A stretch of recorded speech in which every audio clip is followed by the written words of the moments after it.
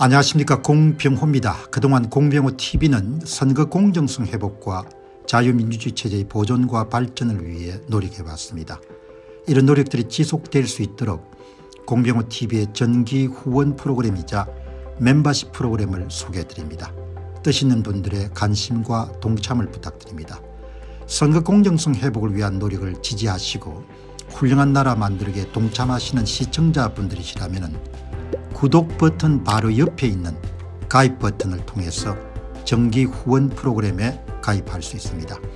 가입 버튼을 누르시면 공병호TV의 후원자가 되시게 됩니다. 여러분의 후원이 선거 공정성 회복을 위한 노력에 힘을 더할 수 있을 뿐만 아니라 자유민주주의 체제의 수호를 그리고 발전을 통해 여러분과 후손들의 삶에 빛과 소금이 될 것입니다. 특히 그동안 공병호TV는 선거 공정성 회복을 위한 노력 과정에서 채널 성장에 제약이 가해지는 불이익을 감수해왔고 지금도 그런 불이익이 계속되고 있습니다. 그럼에도 불구하고 너무나 중대한 문제이기 때문에 공병호 tv의 노력은 계속될 것입니다. 여러분의 깊은 관심을 부탁드립니다. 감사합니다. 자, 오늘은 수도권은 표를 훔친다고 칩시다. 경상북도에서 표를 훔치는 건 좀 그렇지 않습니까 경북은 조작할 필요가 없지 않습니까 그런데 조작을 하거든요. 전산 프로그램을 가동해 가지고 사전투표 득표수를 조작하는 사람들이 뚜렷한 특징은 득표수를 조작하더라도 전혀 이길 수 없는 선거구도 항상 조작을 하는 겁니다. 2021년도 4월 7일 서울시장 보궐선거와 부산시장 보궐선거는 박원순 시장의 성추행 사건 오거는 부산시장의 성추행 사건의 이름들 보궐선거가 치러집니다. 보궐선거를 할 필요도 없을 정도로 더불어민주당이 원인을 제공했기 때문에 폐색이 굉장히 짙었습니다. 폐색이. 예. 폐색이 어마어마하게 짙은 데 불구하고 예. 그래도 조작을 하거든요. 박영선 후보가 서울 전체에서 대패를 합니다. 당일 투표에서. 그래도 사전투표는 425개 동 가운데 얼추 50% 가까이 이기거든요. 예. 그러니까 전산 조작을 하는 사람들은 뭐 이기든 이기지 않든 관계없이 기계적으로 조작을 하는 겁니다. 경상북도는 죽었다 깨어나더라도 이길 수가 없지 않습니까 여기 한번 보시기 바랍니다. 이 사람들이 전국에서 골고루 조작을 어떻게 하는지를 이해할 수 있는 것이 경상북도의 포항북구 사례입니다. 여러분 이게 포항북구에 선거관리위원회가 발표한 예, 최종 결과입니다. 선거 데이터. 이게 더불어민주당의 오충중기 후보. 이 오중기 후보의 자료 가운데서 관내 사전투표 득표수 4837표 국외 부재자 투표 148표 홍해읍 관내 사전투표 득표수 1923표 신광면 관내 사전투표 득표수 186표 이게 전부가 다 조작이 된 수치입니다. 이게 조작이 되기 때문에 뭐가 함께 또 조작이 되는 거 하니까 앞에 있는 선거인 수도 조작이 됐고 투표수도 조작이 된 겁니다. 다른 후보들은 표를 더해 주지 않았기 때문에 조작이 안 됐는데 더불어민주당 후보의 관내 사전투표 득표수 국외 부재자 투표 득표수 관내 사전투표 등 전부 다 조작이 된 겁니다. 이 선거 데이터가 지금 중앙선거관리위 홈페이지에 올라 있는 겁니다. 지금은 아마 만질 수가 없을 겁니다. 이게 딱 그냥 전체가 다 끝났기 때문에. 이 4837표의 더불어민주당의 관내 사전투표 득표수에서 몇 표 정도를 훔쳤는지를 금시 알 수가 있습니다. 예. 조작에 사용한 규칙만 찾아낼 수가 있으면 선거관리위원회가 발표한 가짜 관내 사전투표 득표수 4837표 가운데 몇 표를 집어넣는지를 다 계산해낼 수 있는 겁니다. 이 사람들이 규칙을 이용해 표를 만들어냈기 때문에 여러분들 이거를 딱 분석하게 되면 규칙이 얼마가 나오는 거 하니까 사전투표장에 아홉 사람이 올 때마다 유령 사전투표지 한 장을 만들어 가지고 더불어민주당 후보한테 넣어 주었습니다. 여기에서 9명이 투표하면 한 장씩 위조 투표 투입. 그러면 총 몇 표를 집어넣냐 5808표를 집어넣은 겁니다. 선거인 수 기준으로 실제 사전투표장에 오신 사람들보다도 발표 사전투표율을 2.5% 이런 뻥튀기 한 다음에 5808표의 위조 사전투표지를 확보한 다음에 전부 다 더불어민주당 후보한테 더해 준 겁니다. 이게 그 결과를 이야기하는 겁니다.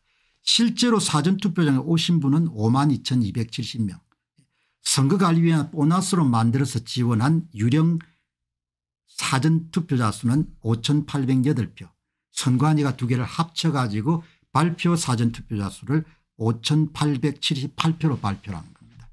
관내 사전투표에 4573표를 집어넣고 관내 사전투표에 1235표를 집어넣은 겁니다. 이걸 찾아낸 겁니다. 이게 숫자 선관위가 발표한 숫자를 가지고 이름 찾아냈기 때문에 규칙을 사용해야 표를 만들었기 때문에 이 사람들이 이름들 표를 보시게 되면은 도저히 조작하면 안 되는 데입니다. 포항 북구는. 왜 그런 거 아니에요. 김정재 국민의힘 후보가 당일 투표에서 65%를 받은 겁니다.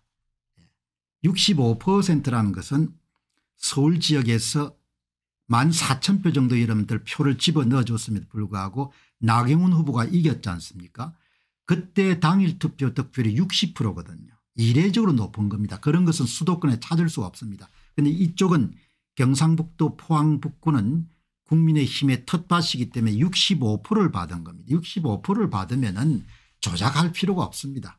그런데 조작했지 않습니까 내가 볼 때 이 조작이 왜 했냐고 하니까 아마 선거 비용을 보전받기 위해서는 이런 권역별로 몇 퍼센트 이상이면 선거 비용을 다 전액 보존받을 겁니다. 그게 다 세금 도둑놈들인 겁니다. 세금 선거 보전을 여러분들 받기 위해 가지고 정부에 골고루 다 여러분 이길 수 없는데도 다 조작을 하는 겁니다.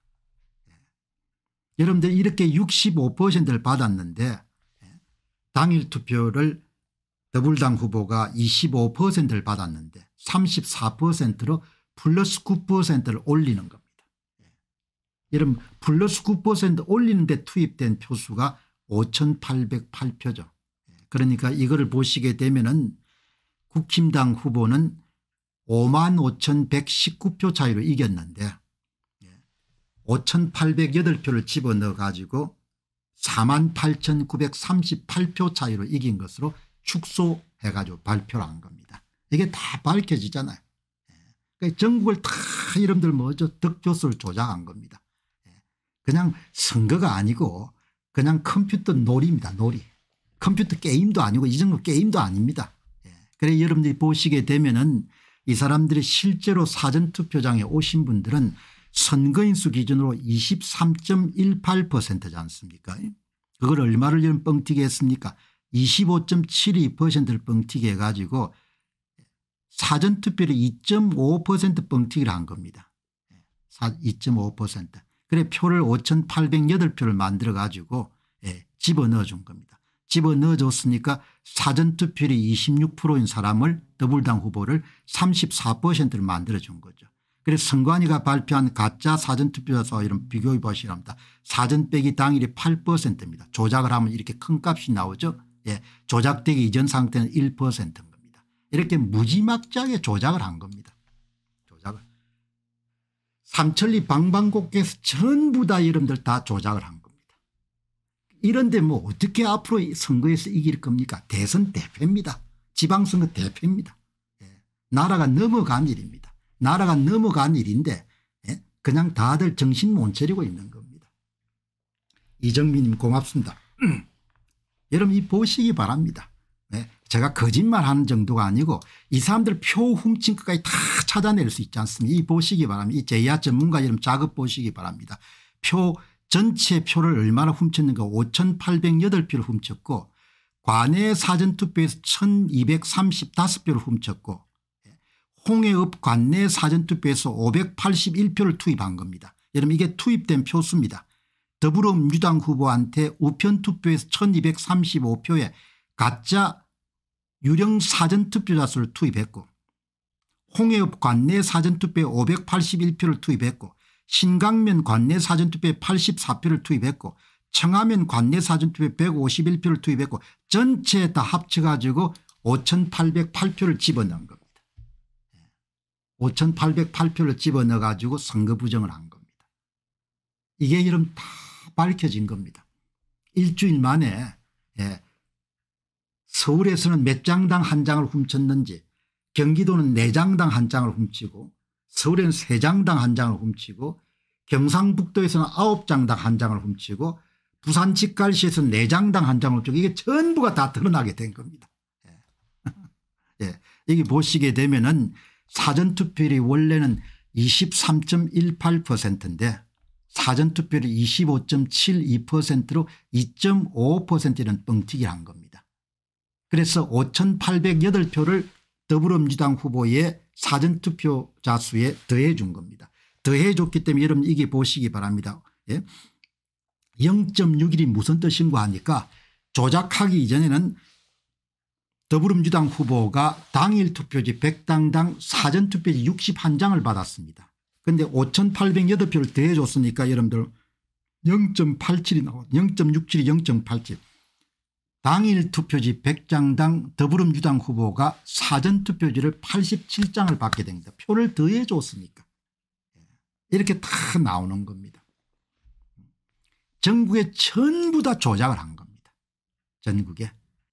경상도도 예외 없이 전부 다 뭐 광주 광역시 전라남도 전라북도 제주시 충청도 충청남도 전부 다 조작을 한 겁니다.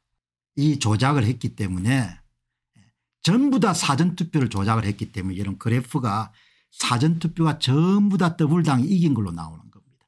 이렇게 이런 조작을 여러분들 경상북도에서 한 겁니다. 하, 정말 참 대한민국 사람의 일원으로서 참 심히 유감스럽다는 말밖에 할 수가 없는 것 같아요.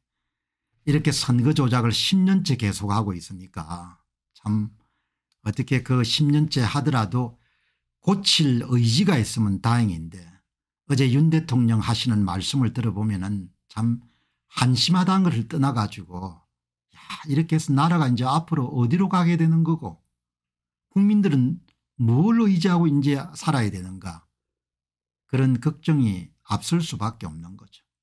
그래도 뭐 실망하지 않고 또 역사적인 어떤 반전의 기회가 있을 수도 안 있겠나 생각이 들어서 이렇게 사실과 진실을 계속해서 규명해 가지고 이렇게 여러분들에게 말씀을 드리는 겁니다. 예. 경상도도 이렇게 무자비하게 이런 조작을 한 겁니다. 대한민국 공직선거의 문제점을 파헤친 첫 번째 책을 펴냈습니다. 제목은 도둑놈들 1권 선거 어떻게 훔쳤나 2017년 대통령 선거로부터 2022년 대선과 지방선거까지 전산 조작을 이용해서 후보별 득표수를 어떻게 조작했는가를 낱낱이 분석한 책입니다. 선거를 바로 세우고 나라를 바로 세우는 일에 여러분께서 힘을 더해 주시기 바랍니다.